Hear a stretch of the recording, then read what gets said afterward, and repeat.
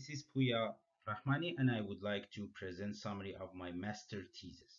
The thesis has been done at the Faculty of Science, uh, Energy and Environmental Technology in University of Southeastern Norway, campus Porsgrunn.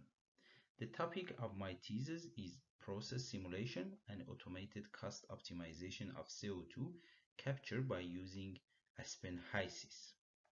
This work is done in collaboration with our external partner, SINTEF Tel-Tek. We have uh, some general and specific aims for this thesis. The general aim is developing uh, models in Aspen HYSYS, especially for cost optimization of CO2 capture by amine absorption. We have also some specific aims such as utilizing spreadsheet facility in Aspen HYSYS to optimize the process.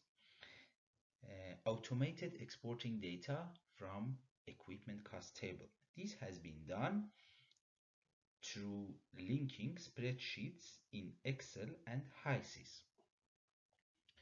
And uh, we can do it automatically uh, and only by uh, using the macros using calculated Murphree efficiency in the absorber column which is related to gas velocity instead of using a constant efficiency value for all cases. Evaluation of limitations for optimizing the cost in the cost estimation of amine-based CO2 absorption.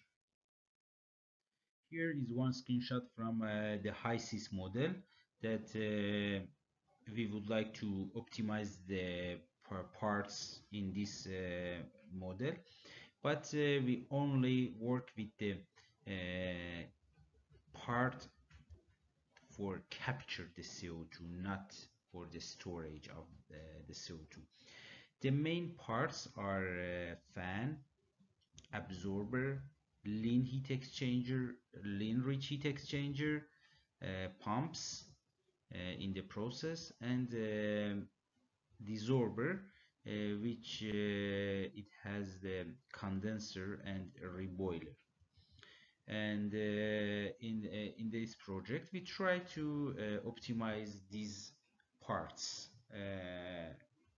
by using the HYSYS spreadsheet. Thanks for your attention.